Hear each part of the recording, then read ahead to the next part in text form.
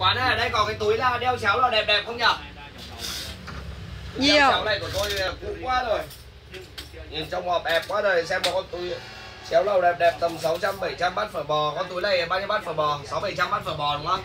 Đúng Con túi này cũng được đấy nhờ. Để tôi xem, tôi nghiên cứu xem, ngắm nghĩa hết xem.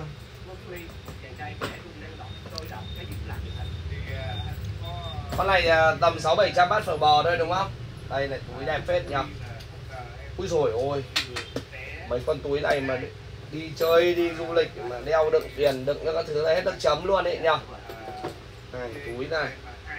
Được đấy Con Túi này chuẩn đấy. Con túi đâu nữa cơ? À đây nữa à. Con này đẹp đấy nhờ, con này chắc tầm 800 bát phở bò nhờ Đúng rồi. Ai da, con này đẹp này.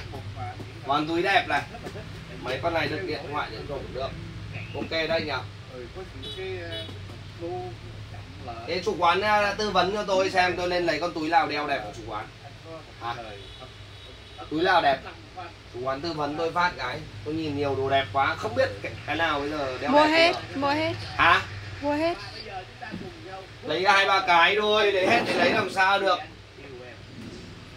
Túi này bao nhiêu bát phở bò đây? 64 Tầm 6 40 bát phở bò à?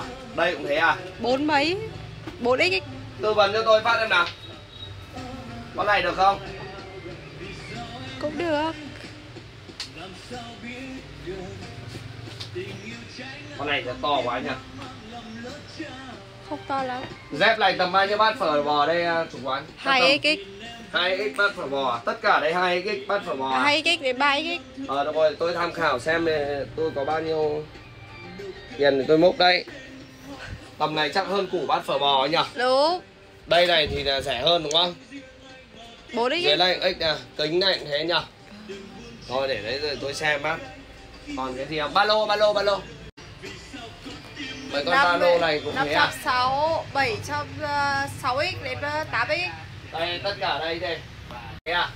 Đúng rồi. Rồi để tí nữa tôi về tôi dẫn thằng con ra tôi ra mua nhá Mũ 3x Mũ ba lô, ba lủng đây cũng thế gì? Còn đây là bộ à? Đây toàn bộ quần áo nhỉ? Ví xấu quá rồi. Bây giờ ờ, cho tôi lấy tạm con ờ, túi này nhá. Gói vào cho tôi nhá. Đây lấy con này. Ok rồi.